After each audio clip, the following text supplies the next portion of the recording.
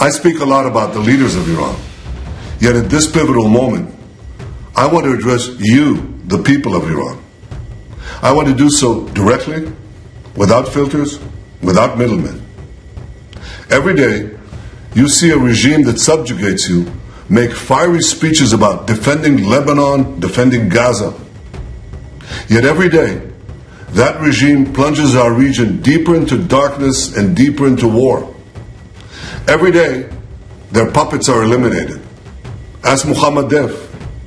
Ask Nasrallah. There is nowhere in the Middle East Israel cannot reach. There's nowhere we will not go to protect our people and protect our country. With every passing moment, the regime is bringing you, the noble Persian people, closer to the abyss. The vast majority of Iranians know their regime doesn't care a whit about them. If it did care, if it cared about you, it would stop wasting billions of dollars on futile wars across the Middle East.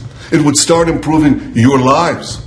Imagine if all the vast money the regime wasted on nuclear weapons and foreign wars were invested in your children's education and improving your health care, in building your nation's infrastructure, water, sewage, all the other things that you need.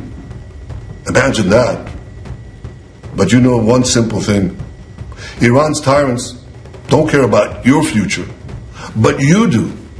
When Iran is finally free, and that moment will come a lot sooner than people think, everything will be different.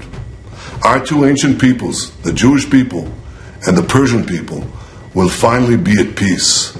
Our two countries, Israel and Iran, will be at peace. When that day comes, the terror network that the regime built in five continents will be bankrupt, dismantled. Iran will thrive as never before. Global investment, massive tourism, brilliant technological innovation based on the tremendous talents that exist inside Iran. Doesn't that sound better than endless poverty, repression, and war? From Qom to Isfahan, from Shiraz to Tabriz, there are tens of millions of good and decent people with thousands of years of history behind them and a brilliant future ahead of them. Don't let a small group of fanatic theocrats crush your hopes and your dreams. You deserve better.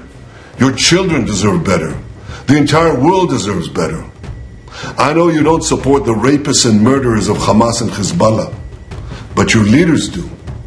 You deserve more. The people of Iran should know Israel stands with you. May we together know a future of prosperity and peace.